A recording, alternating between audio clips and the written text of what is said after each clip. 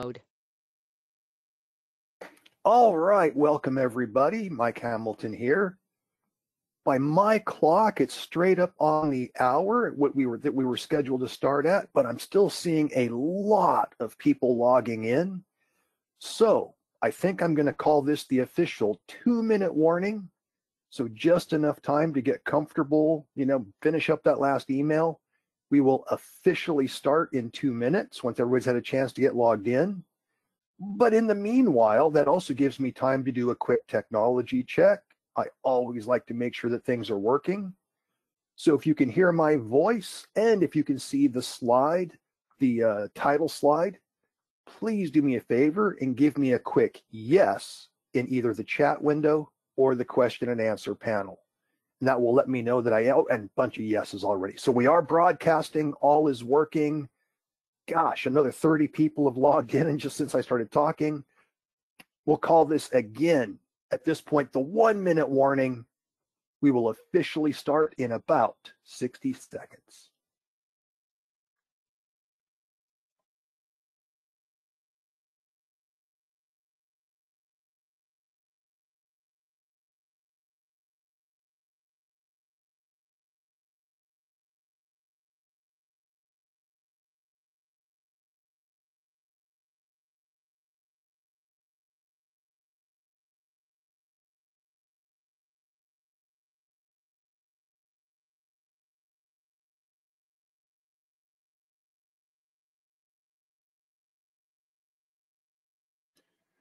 All right, welcome everybody.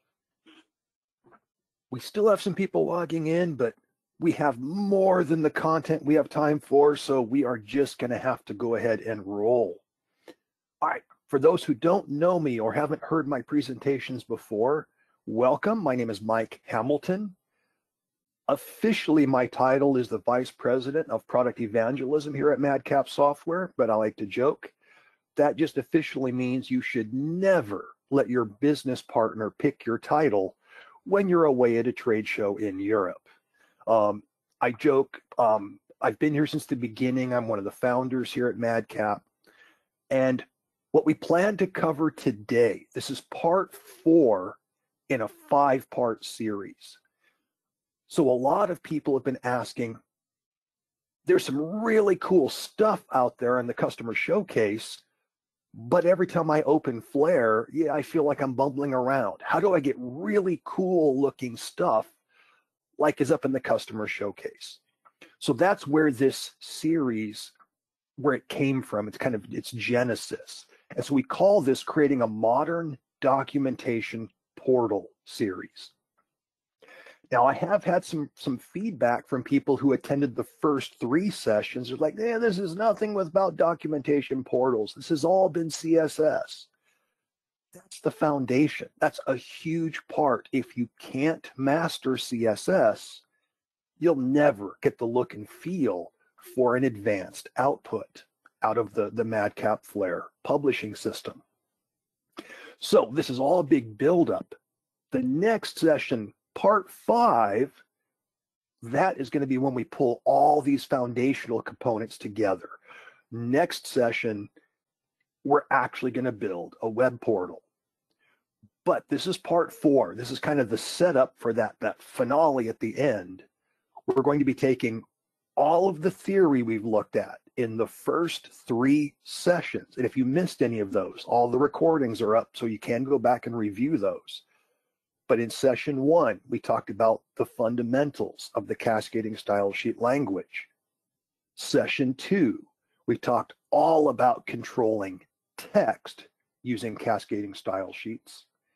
Session three, we talked about controlling images and graphics using your cascading style sheets.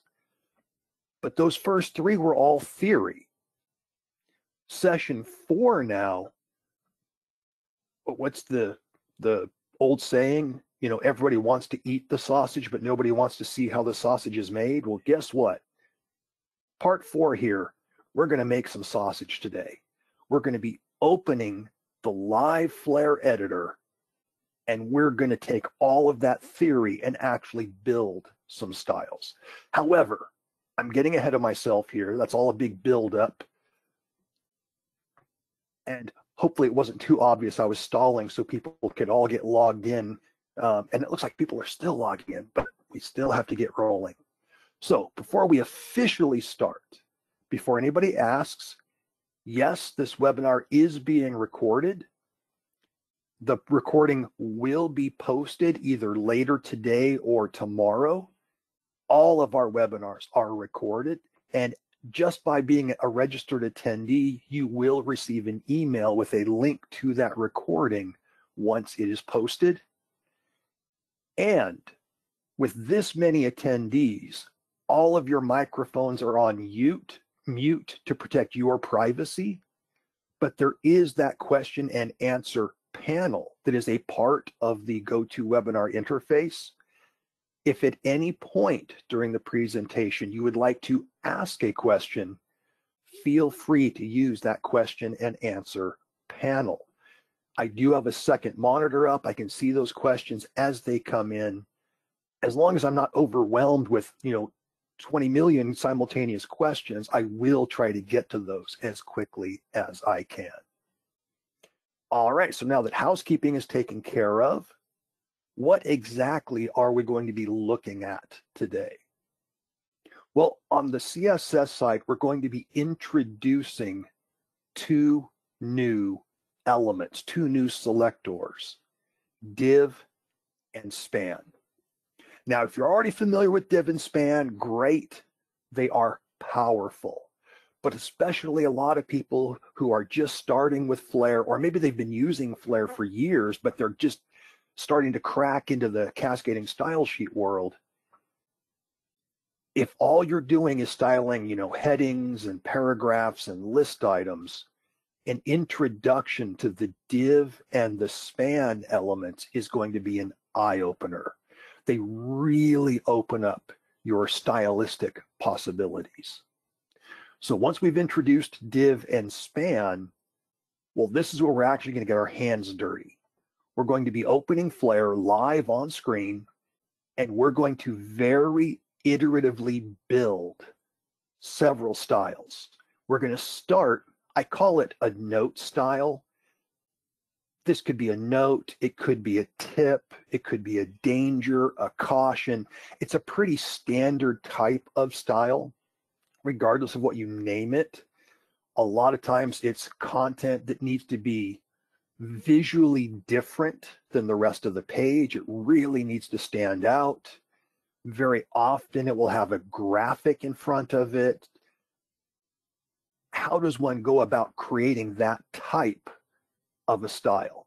Well, we're going to do it two different ways. We're going to start as a single element style, meaning a paragraph style that I could apply to any paragraph text. But then we're going to look at a more advanced version how would I do a multi-element note or tip or danger or caution? So we're going to look at two different approaches to that type of a style. Then we're going to look at one of the areas that I think a lot of people try to carry over what they knew in the word processing world and that really causes problems when you're trying to control white space or specifically margins and indents. CSS is a bit different, and hopefully you'll find it's much easier than traditional word processing when it comes to handling margins and indents. But then we're going to leverage that a step further. And something that a lot of people struggle with is controlling margins and indents, but specifically when it comes to lists and why it's so frustrating and so hard. And once you see the trick, it becomes a, a lot easier. All right, so that's the plan of attack for today's session. Again, we're going to jump right in. We're going to start with that div and that span information. Now, first off, what am I even talking about? Well, big picture, I'll, I'll kind of paint a verbal picture here. Once you get into an XML world, it's very different than word processing. In word processing, you style the actual text. But once you get into markup languages, be that XML or HTML or you know whatever ML version you want to talk about.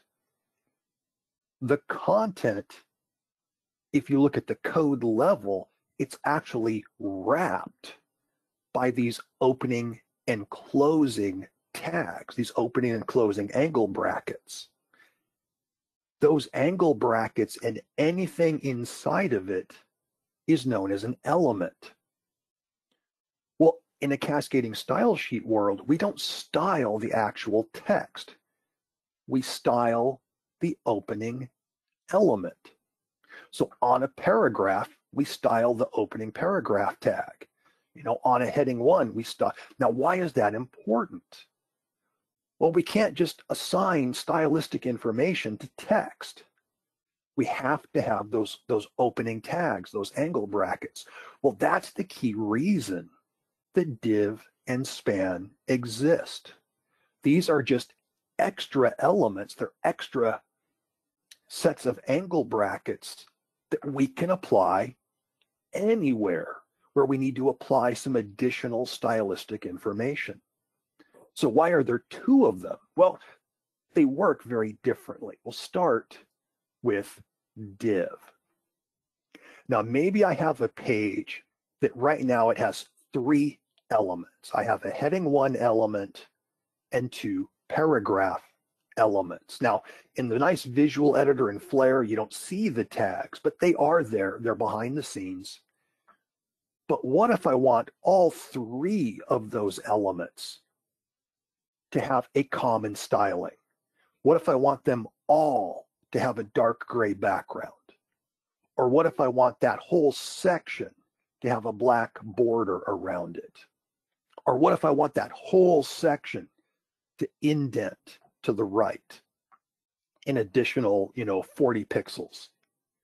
The easiest way to do that is to just add a div container around those existing three element containers.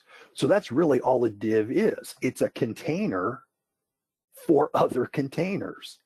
So I can literally, each of these blue uh, dashed lines indicates a single element. Well, div is just a great big element that will wrap around. It will encompass all of those individual elements. That means we can now add styles to that div, which will apply to that whole section, that whole group of content. I can now, because of that div, that extra container, I can treat that whole chunk of a topic as an individual unit. So that's the big advantage to a div. You could have an entire subsection that has a special background, a special, uh, you know, border, anything like that. So that's the div. It's kind of the, the big unit. But then we look at its little brother, span. Well, what if I just want one word in one of these paragraphs to be bold? And please don't say you're going to highlight that text and click the bold button. That's evil. That's inline formatting. We want to avoid that. Well, that's where span comes in, where, where the big guy div wraps around existing containers. A span lets me create a smaller container inside an existing element. So I can actually wrap a span around a single word, and then I can apply a style from the style sheet to that span. And so now we can make that bold or we can make that italic or different color or, you know, whatever look and feel we need. Um, so again, if you tend to think like a word processor, basically a span, that's like a character style in a word processor. So a question came in. If we go back and look at that div style, would a div override the styling on the H1 or one of the paragraphs? The answer is no, it wouldn't. I, I don't have time to go into all the super deep details, but if you go all the way back to session two, where we talked about inheritance, basically, if I have a div that says text color should be purple, but then my heading one style says text color should be blue, well, it's going to be blue. And that is because right now the div is the parent of the heading one. Heading one is a child of the div.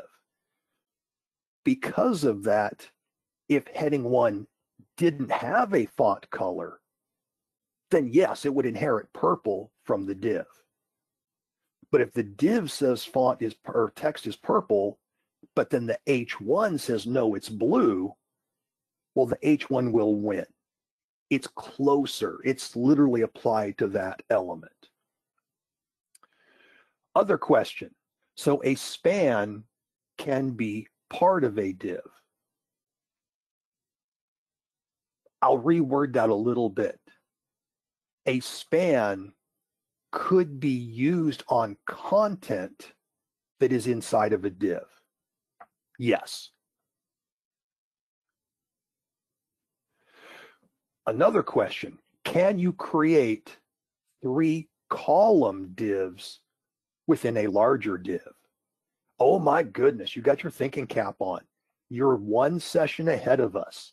That is actually one of the key techniques we're going to use in that final finale part five, where we actually build that web documentation portal interface. Now, it's a little more advanced than your question there, not only can we have multiple divs inside of a larger div, but when you combine that with special styles, which Flare will let, let you do, you can actually create what's called responsive design. So I can set up a large container div with three smaller divs inside of it, such that when it's on a desktop web browser, my three smaller divs are side by side. But if it detects a smartphone interface, then my three smaller divs automatically stack up vertically. So it's almost like, I don't want to say it's like a table, but it's like a really smart table. You know, if the screen is wide enough, you know, the cells are side by side, if the screen isn't wide enough, well, then the cells stack vertically. Again, that's why we're kind of, each of these sessions builds until we get to that final web portal in session number five. But you're on the right track. Um, would it work for print as well? Sort of. The key thing about print is you typically don't have, well, you you definitely don't have real-time size adjustments. When you're publishing to say PDF, you're setting a fixed page size. So you're typically only going to get a single presentation. But yes, that responsive design styling will work in that environment. It just won't be kind of adapting live if you resize your PDF reader other than the new kind of hybrid web mode that they have, it just means it zooms in and zooms out, gets bigger or smaller.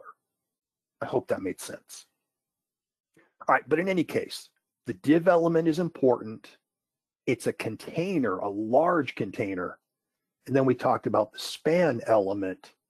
It again allows us to apply style information, but more of a character type of style. All right, now a quick review of the box model. Again, this is kind of a throwback to session two, but it's going to be critical for some of the things we're going to do in a few minutes on these note styles that we're going to create. So a very super fast review.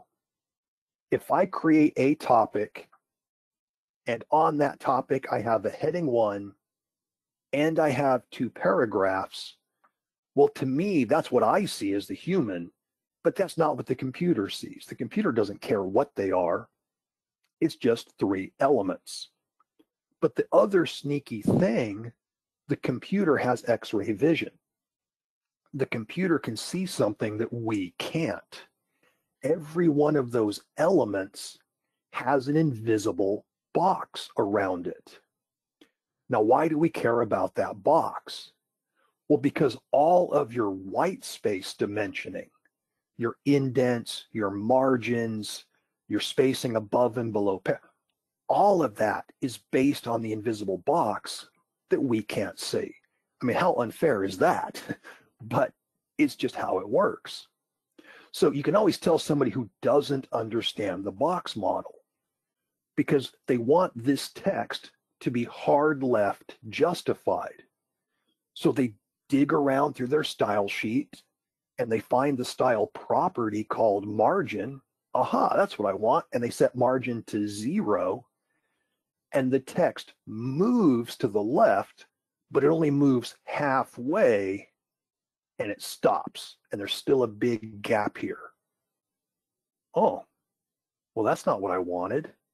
So what they typically do is they rummage around through the style sheet some more. They don't find anything else. So they go back to margin again. They set it to zero again. But this time when they click save, they click the mouse harder. Yeah, doesn't work that way. It, the text doesn't move any further.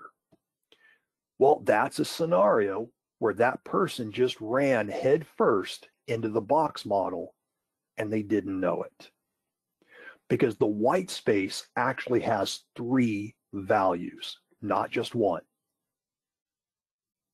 We do have margin, that's that red arrow there, but that's not the edge of the browser or the edge of the page to the text. That's the edge of the display area to the invisible box. That's one value. Then in blue, that little arrow is pointing at the invisible box itself. That is the border. Even though it's invisible, it can have a width.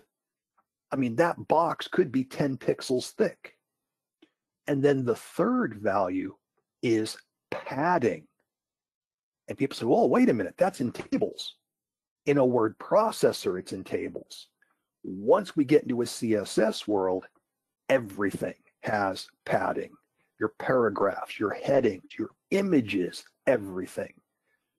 So to control our left margin right now, if we really wanted that text hard left justified, we would have to make sure that border was set to zero, margin was set to zero, and padding was set to zero.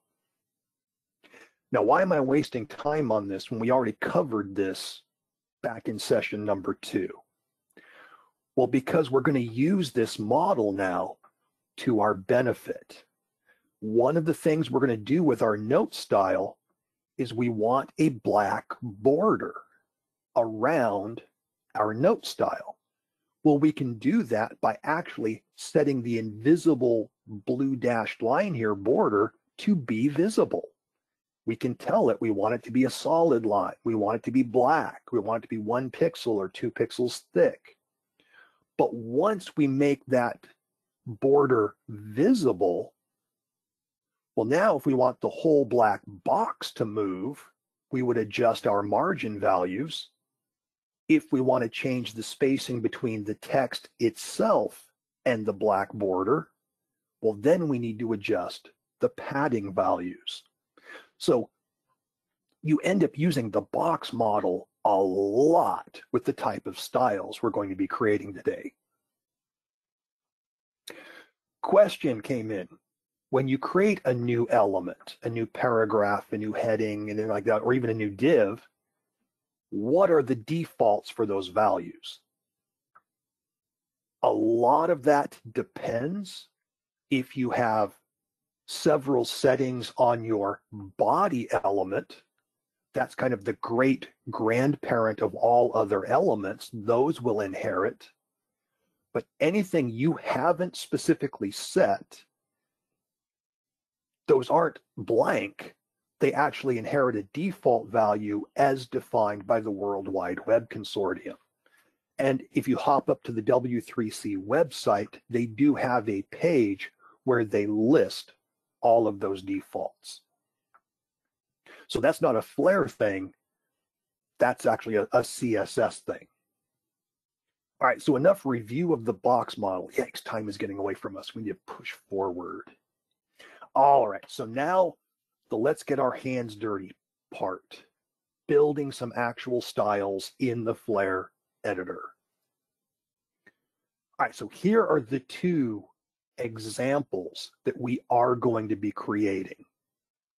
Now, they look very similar right now, but I'm going to turn on the structure bar in the left margin over here, and you'll be able to see the difference. So the first, the top danger example, notice that that is a single paragraph element. So this is going to be the one we do first. It's a little bit easier. It's a single element style. Whereas if we look at the lower example, it's actually two separate paragraphs, but then both of those paragraphs are now wrapped in one of those div elements. So this is more of a compound, you know, note, tip, or caution type style rather than a single element type of style. We're going to do both. All right, so example one. So if our goal is we want the text, we want a bold danger colon in front of it, we want a little graphic on the left, we want our border turned on, but then we want to soften and round out the corners. So that is our goal. And hopefully I make life easy for a lot of people. I teach a lot of the training classes and I have a lot of students that think that somehow, you know, people with experience just sit down, magically type in a few lines of code and voila, there's a beautiful style. It doesn't work that way. It is a very I'll, I'll even say it, it's a tedious, iterative process. But the nice thing is you only have to do it once, and then you have a style that you can reuse over and over and over again as necessary. So that is our ultimate goal, that danger style right there on screen. But what are we typically starting with? Well, in our Flare editor, we type in a sentence and it's just an ugly little paragraph do not touch rotating machinery. How do we get that standard flare paragraph to look like that example above? Well, the first thing we have to do is we create a new style class. Now, again, if you're not familiar with classes, we covered that in session one, but basically p dot danger, that is a paragraph style with the class name danger. So that we need to create in Flare. All right, so I'm going to hop into Flare real quick. Here is my Flare demonstration project I'm going to use.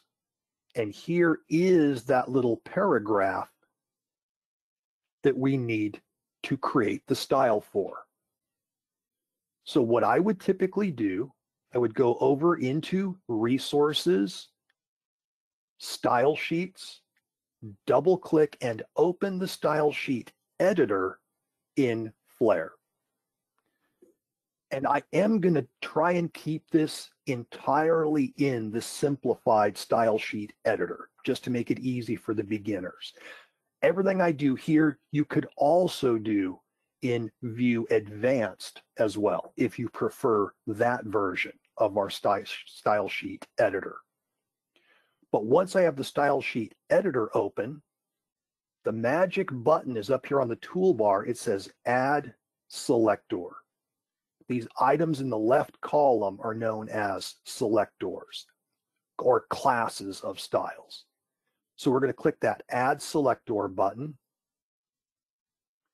When the new selector comes up, the left-hand column is, okay, what kind of style are we creating? And you can create any kind of style you want. We're going to choose P for paragraph. But then under class name, what's the name of this individual style?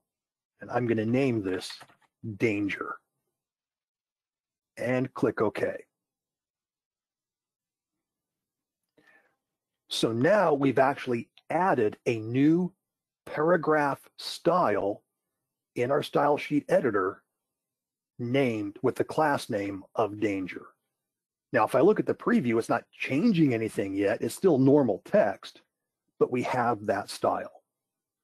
At this point, I'll do a save. If we hop back into our topic, I can put my cursor anywhere inside this paragraph. And then we can actually come up here on the home ribbon, do the drop down, and I can select the style P dot danger. And again, nothing changed. We haven't styled it yet, but that officially has the style P dot danger applied. So that was the first step, just getting a new style in the style sheet. All right, so the next thing we want to do, let's add that yellow triangle image with that exclamation point. So this all comes from the third session we did together. We're going to be using the background image property to select our little PNG graphic. However, that's going to cause all kinds of chaos because it's going to tile, it's going to look ugly. We're going to have to do some more control here. So we're going to position it with the background position properties, you know, X being side to side, Y being vertical. As far as side to side, we're going to use a value of zero or left. We want it hard left. But then the vertical, we're going to use center. And then finally, to keep it from repeating over and over again, we're going to set background repeat to no repeat. We only want that little triangle graphic to appear one time. But, and we're going to do this live in a minute. This is, this is what Flare is writing for us. But when we apply this style, I got bad news. It's going to be ugly.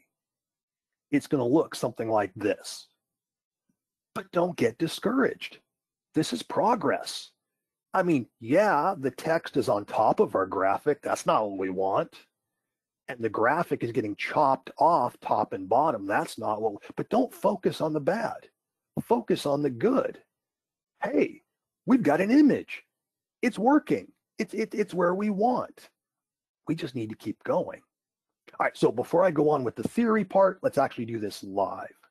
So let me pull Flare back up again. Back into our style sheet editor. Now I'm going to double click on P dot danger, that new style we created. We're going to go to the background tab. And where it says background image, we're actually going to use that little browse button over there on the right. And now I'm going to browse into, now if it wasn't in my project, I'd have to go navigate out, you know, use the little ellipsis button down here. But this is in my project right now. I have an image named caution. It's in my graphics library. Once I've chosen that graphic, I click OK. All right, now you can see that tiling I talked about. We don't want that repeat. So in the repeat box, we're going to select no repeat. So now the graphic only appears once. And then for our X and Y value, for X, we want it hard left. So I'll just choose left, or you could type in a zero. And then for Y, we want this centered vertically.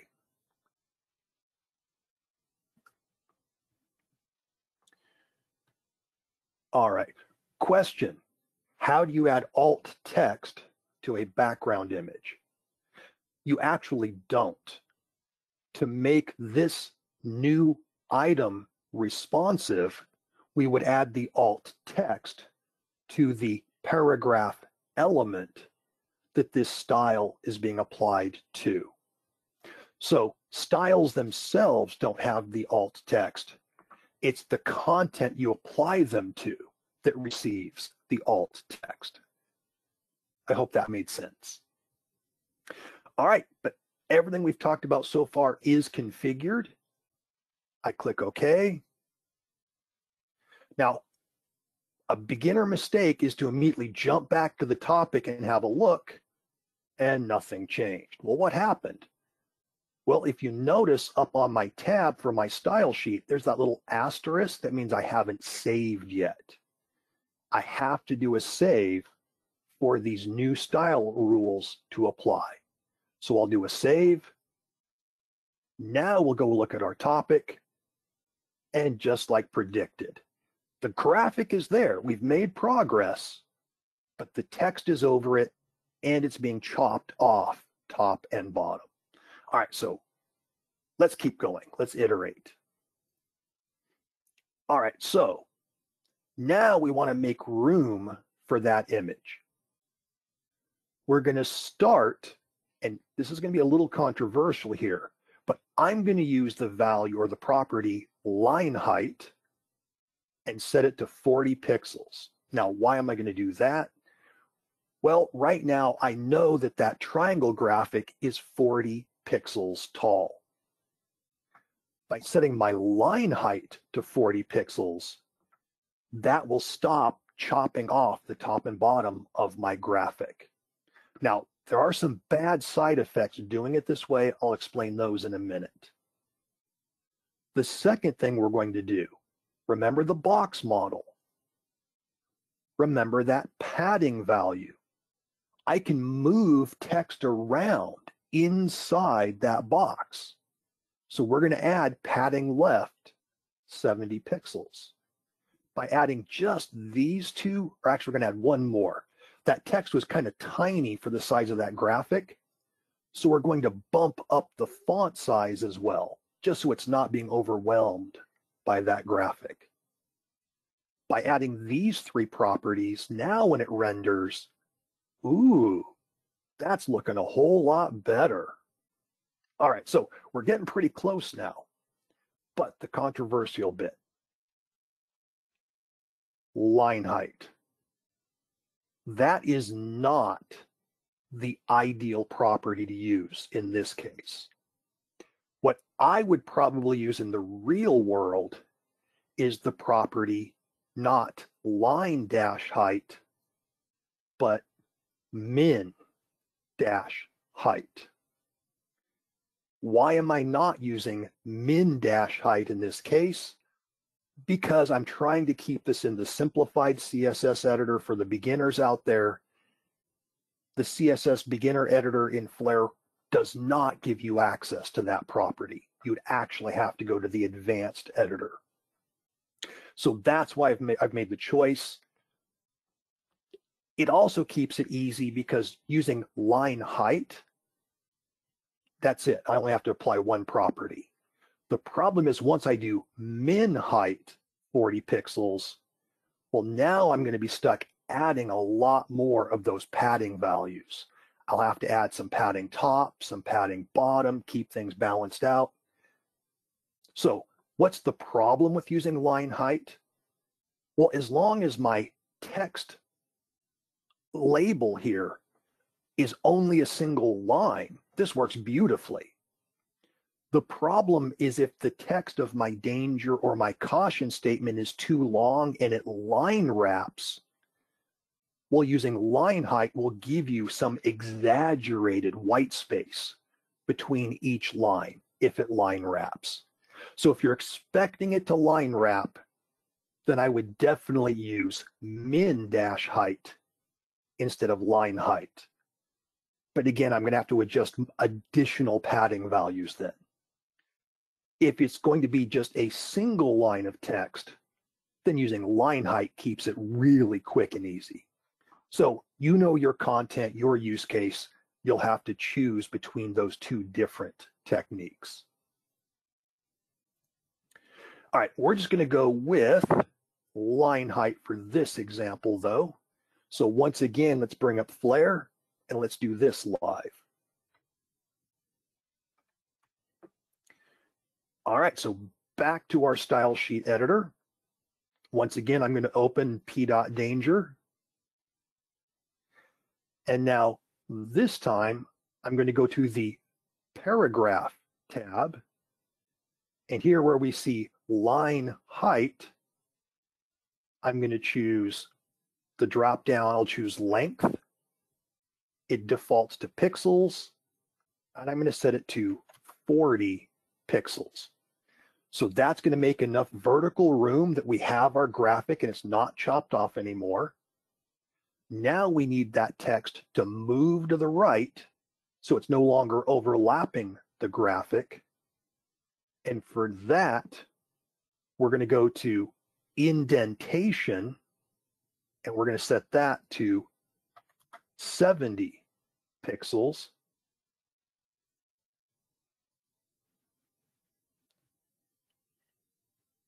And then we're going to go to the font tab and we're going to set our font size to 1.3 em units. And again, if em units are new to you, again, go back and review session two. We did a whole, you know, probably 10 minutes, 15 minutes on proper font sizing techniques.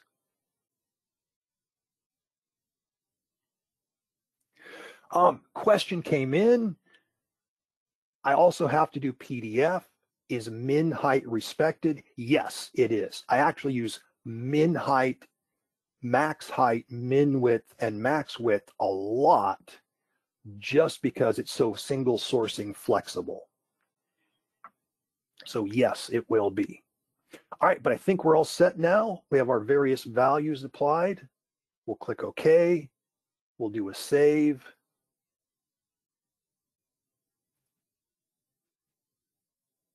Oh, and oh, Mike, I just made a rookie mistake. Not only did my text move to the right, but my graphic moved to the right. What did I do wrong here? Actually, it's good that this happened. I got such in a hurry, I totally forgot. I'll open up our style again, go to where I added where it says indentation that's not padding. That's actually going to be written as margin. And remember, that's going to move the whole invisible box to the right, everything. I'm going to put that back to zero. Silly me, what was I thinking? I actually have to go to the Borders tab. And here's where we have our padding. So for left padding to be 70, I'll choose pixel I'll do 70 here. There we go. Now you see the text move to the right. Gave me a nice white space area here. Click OK. Click Save. And now we go back. That's looking a lot better. Now, one word of caution. It still looks like my image is being clipped a little bit don't assume. The more advanced styling you get, you can confuse the Flare editor a little bit. The safest way to do a final spot check, go to the top left corner, click that preview, and actually preview it in a web browser. Ooh, and it is being chopped off a little bit. We need a little bit more line height. Well, that's easy enough to fix. Back in the style sheet, back in P dot danger, back to paragraph. And instead of line height 40, let's do line height 50. Not sure what happened there because this was well rehearsed. Let's do a save and see if that looks better. All right, now it's all happy. So we're getting there. Only a few more attributes left. So up here at the top, here's everything we've set so far. Now check out this monstrosity. To make that invisible border visible, we need Flare to write 12 new properties. border left, solid one pixel black, border right, solid one, on and on and on and on. But once I get Flare to write all this into the style sheet, well, now we've made the invisible box visible. Now, here's the good news. Getting Flare to write all of this is pretty straightforward. We jump back into the Flare editor, back into our style sheet editor. I'll open up p.danger again.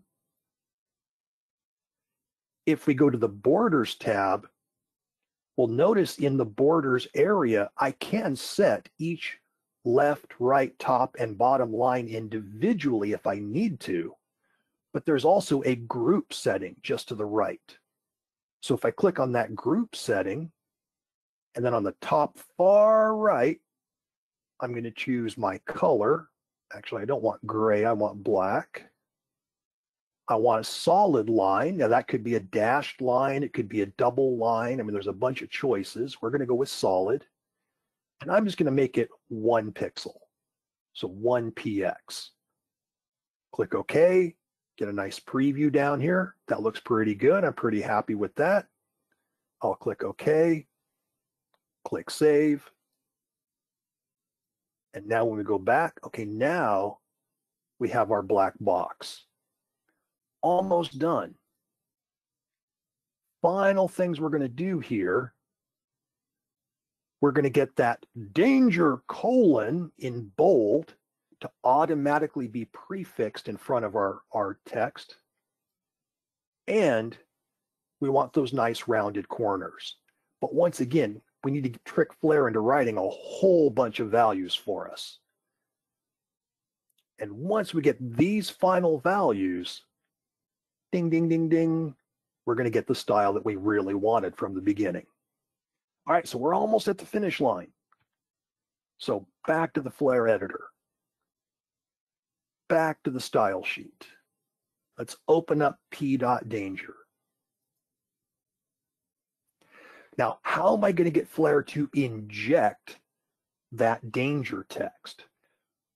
Well, we're going to use a feature in Flare in kind of a non-standard way.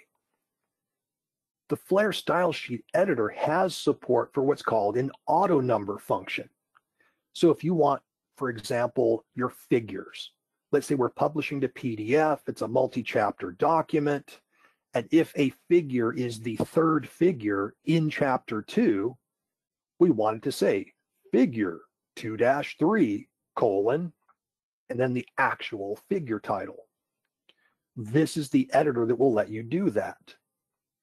And the way you would do something like that, you would literally just type in figure space, and then down here you can choose this chapter number attribute, manually type a dash, and then increment number, and then colon. And this is now a style where Flare will automatically figure out your figure numbering for you. Well, we're going to use this in kind of a non-standard use case. I'm just going to come in here and manually type danger colon space. Even though it's not numbering, this is automatically going to inject this text in front of anything I apply this style to.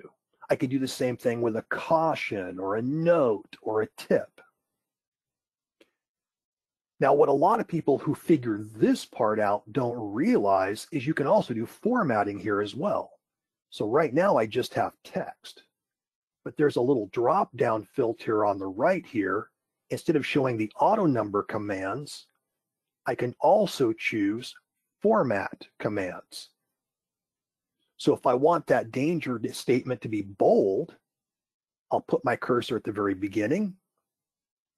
I'll come down to where it says start bold text and I'll just double click.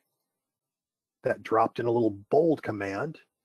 Then I'll go to the very end, insert my cursor, and I'll choose end bold text. And so now whenever that gets inserted, it will be bold and in front of whatever we apply the style to. So now that label is taken care of. Now what about those radiused corners? Well, once again, we'll go back to the borders tab. This is where we turned the borders visible. Well, right down below that, it says border radius. And once again, I can set them individually or there's a group setting on the right. I'll use that drop down and I'm just going to bump this up to 10 pixels. Click OK. That looks pretty good in the preview. I'm pretty happy with that. Click OK. And save all one final time. And there we go. We have our graphic. We have our danger colon. We have our border. And we have those rounded corners. So was it a lot of steps? Absolutely. Was it tedious? Yeah, a fair bit. But the big advantage is now I never have to do that again. I can just, you know, press enter, make a new paragraph. And if I start typing, oh, helps if I get the caps key off. This is a new danger statement. And now when I apply P dot danger, boom, it instantly takes on that look and feel. All right, and we just chewed up 50 minutes on that one. I have to kick it in gear here. All right, so how are we going to do this second example? Again, this one's multi-element. Now, why would you need to do this? Well, sometimes, you know, you look at the style guide that marketing provided, and maybe caution is actually in a larger type size or in a different font than the descriptive text other under it. It's much easier to do something like that with multiple paragraph styles. Then I can wrap everything in a div and use the div to add the border, the graphics, all of that. So this would be a multi-element type of situation. All right, but back to our slides. And if you download the slides, I did put together kind of a, here are all the steps overview. We don't really need that right now. All right, so example two, that's our goal, but we're starting with just two paragraphs. So once again, we need styles, but we actually need three of them this time. And you can name these whatever you want. I called this P dot caution inside. It's a caution, but it's going to be inside of a div. Then I named the next one P dot caution text inside. This is the actual descriptive text. And then I named the div caution as well. Now, I'm not going to take the time to go through and iteratively build all of these again. It's the exact same techniques that we just looked at. But the way it works, we would start with p dot caution inside, create a new class, set the font weight to bold, set the font family to Courier New, that's what marketing wants, and we set the font size to 2 em units. They want the caution to be larger than any other text. Then we can actually apply that new paragraph style to the first paragraph. And that's what it will look like.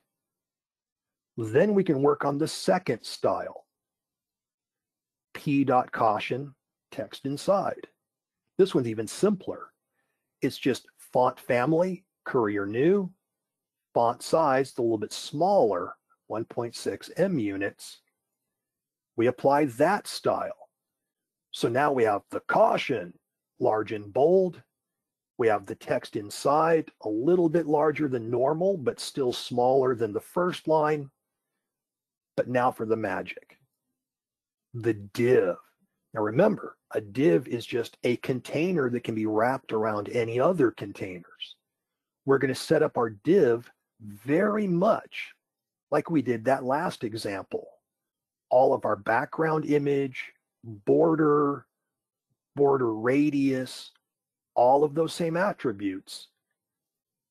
But now when we wrap the div around those two paragraphs, basically the div kicks both paragraphs over to the right and makes room for our little triangle. Now, how did I get these like full on ovalized corners?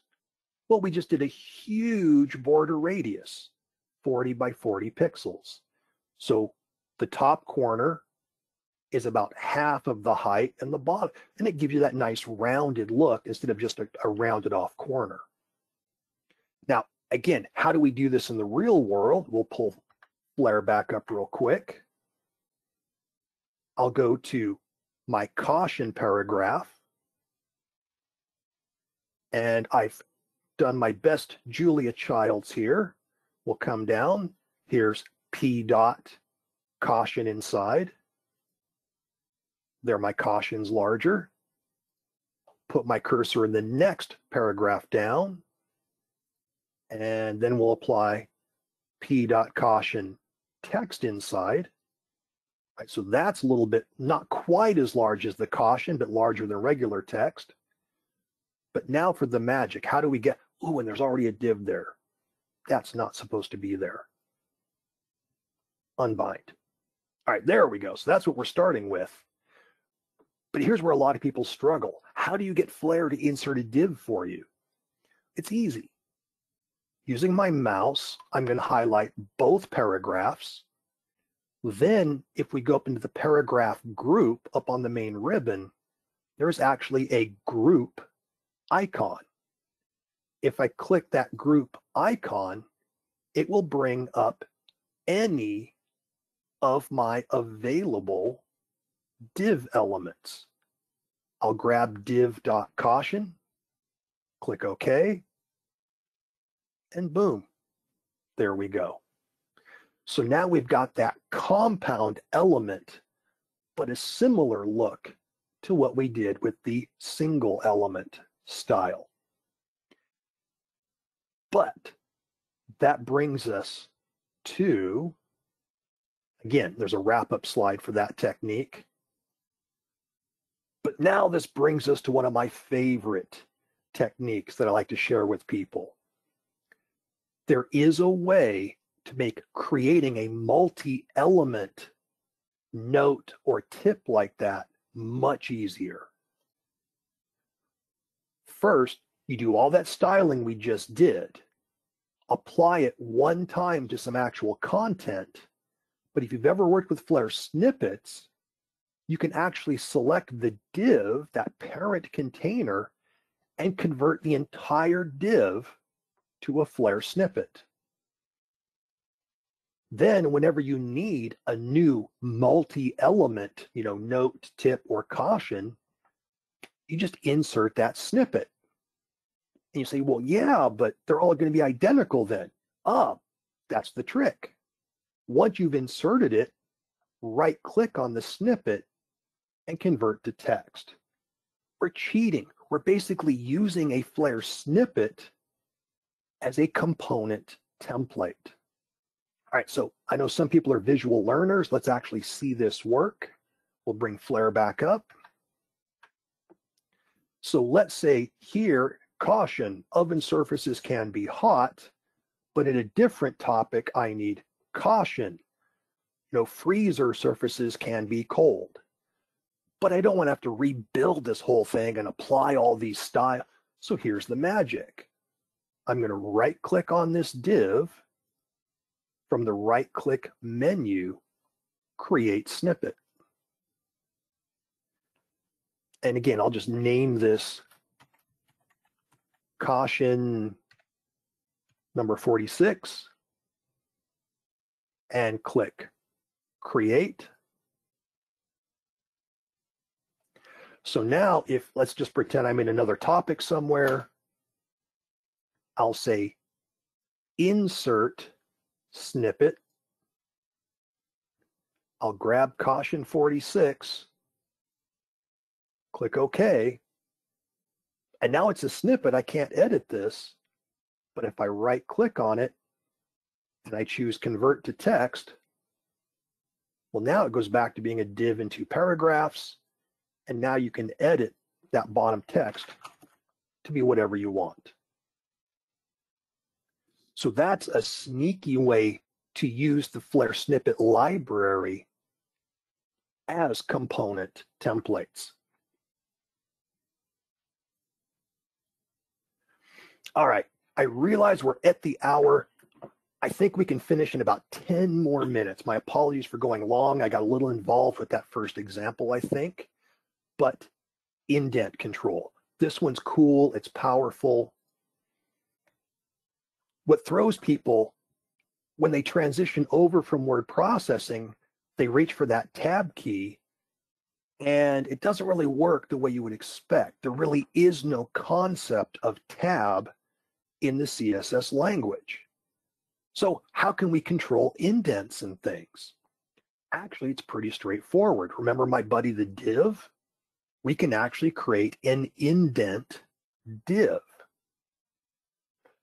And the reason I bring that up is a lot of people bring their word processing bad habits into a CSS world.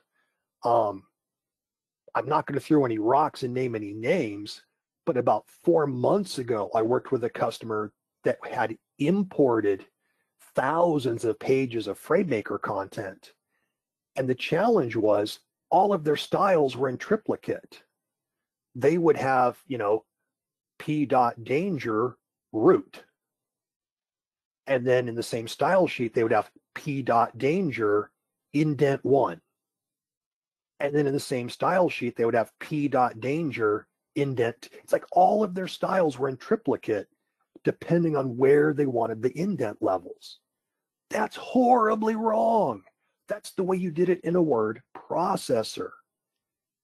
Once you get into a CSS world, into a Flare world, don't apply any indent information on your paragraphs, on whatever your core margin is, just set that on body. But then for any additional indents, we want to use our buddy, the div. So don't go style crazy. And if you set it up correctly, you can have multiple levels of indent with a single div style. Now, how in the world? Well, we go into a standard looking topic. So here I just have a heading one and several paragraphs. And if we render this in a web browser, you know, it looks like a normal page with paragraphs. But notice that there's paragraph 2a and 2b in there. What if we want those two indented to the right? Well, we'll go into our style sheet. I'll create a div class called my indent and literally apply one property margin left, 18 point. That's it, easy peasy. we will do this in Flare Live here in a minute. Then we go into the editor. We would apply that div around those two paragraphs. So we don't have to change the paragraph styling at all. We just wrap them in a div. And now when we render that in the web browser, well, those two paragraphs get that nice indent. And what's nice is what if I want a heading three, a paragraph, and a list all to have the exact same indent? Well, I just wrap that whole chunk of content with that single div, and all three of those elements will indent at the same time. All right, so back into Flare real quick. Once again, we go to the style sheet editor, add selector up on the toolbar. I want a div type element this time, so we'll scroll up to the letter D, locate div. And then for class name, I'll just name this demo indent and hope I haven't used that name before. Nope, we're all good. All right, so Flare is now creating that new class Flare is adding that to the style sheet. And now, if I locate div dot demo indent, there it is. I can double click on this and open it. And we can just go to paragraph, left indent,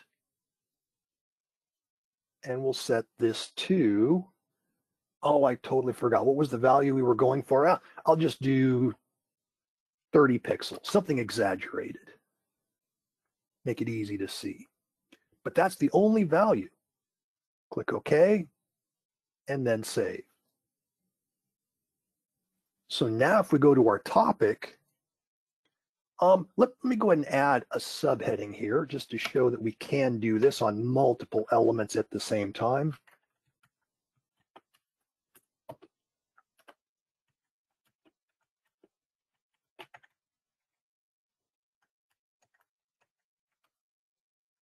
Right, so here I have a heading two a paragraph, a caution, a paragraph, and a caution. Using my mouse, I'll highlight everything.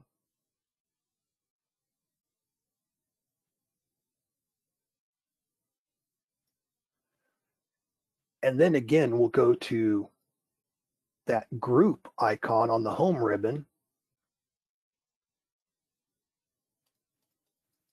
And here is div.demo indent. I choose that style, click OK. And now everything just indented 30 pixels. But wait, there's more. I want a second level indent. I'll grab this paragraph and this caution, and I'll do it again. I'll apply div.demo indent. And now I have another 30 pixels of indentation.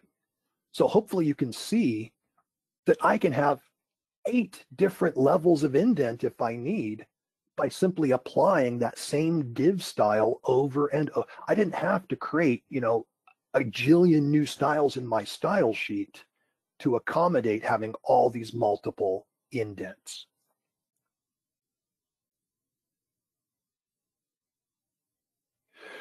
Question, is it possible to set up a style sheet such that all headings are outdented? Absolutely. We don't, we're already over time here. I don't really have time to get into that, but yes, that can be done. That's probably just a quick Google search away. Just um, do a Google search on CSS heading indent control. And I know you're talking outdents, but that's kind of the category that will take you to dozens of resources and it will give you the exact technique that you need. All right, we have one more thing I want to cover very quickly and we will wrap up. And that is list indents. This will be quick. We don't have to do anything live for this one. But here's the problem. Quick review of that box model. Again, every element has the box that we can't see. That's that invisible border. Outside of it, you have margin. Inside of it, you have padding. The problem that you have with lists is that lists are compound elements. Now, what do I mean by that? Well, if we look at a list, there is one invisible box, and that, in this case, it's a bulleted list, so it's an unordered list. This blue box represents the UL element, but inside of that, we have three LI elements, list items. The problem is all of those elements have margin border and padding. So the UL element has margin and padding. Then the list item has margin and padding. So we're not dealing with three or or even you know elements. We're dealing with six. So that can be a major challenge. Um, I see a note from somebody. They just experimented trying to get min height to work. do me a favor, do an actual preview of an output. Min height is a relatively new property and it can confuse the Flare editor a little bit. It might look a little bit wonky in the editor, but then you do a preview and it looks beautiful. So give that a try. All right, but back to here. So here's the challenge with lists. As long as you're trying to increase the indent, it's easy. You can choose either margin or either padding value. And as long as you increase those, your indent keeps increasing. The challenge comes when you want to decrease the indent on a list.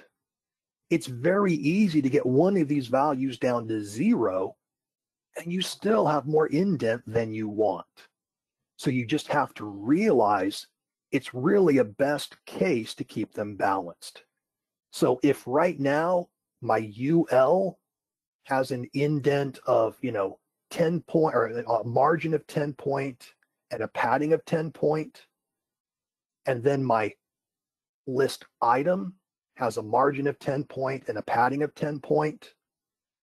Well, if I want that to be overall reduced rather than taking one of those to zero, your best performance will be to reduce all four of them. So instead of having, you know, all tens, you know, make them all seven point. Because that's going to end up knocking 12 points of indent off because you're losing three points of margin, three points of padding on both elements.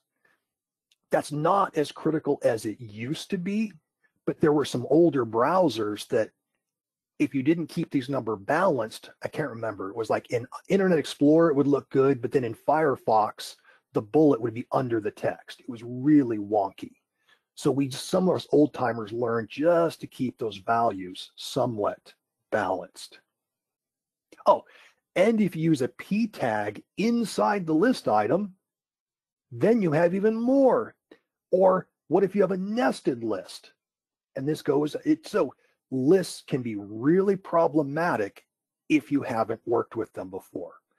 But there's a trick I came up with. At least this helps me. What I do, I go into the Flare style sheet editor. I create my own custom medium and I make all the invisible borders visible. It's amazing how much easier that can make your life. So to give you an example, let me pull this up.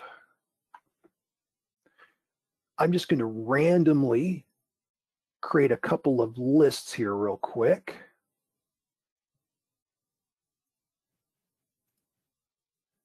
And just for giggles, we'll do a nested list, just so we can do kind of a worst case scenario.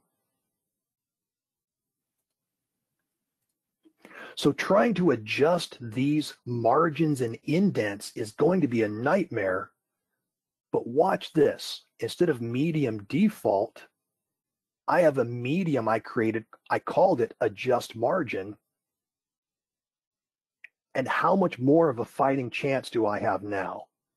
The UL elements are blue.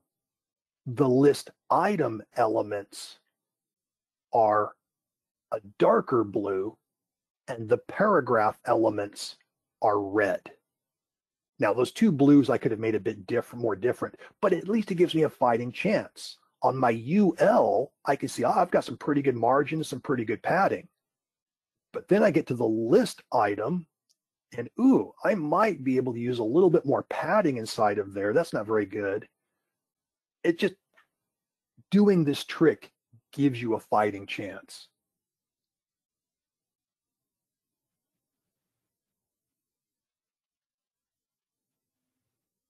My apologies, Brian, if you're upset. You can always view the recording. That's why these are recorded. Ugh. You give people free training and they get mad at you. All right. But the good news is that brings us to the summary. So we've looked at div and span elements. We've looked at two different note styles. We talked about simplifying margin and indent control.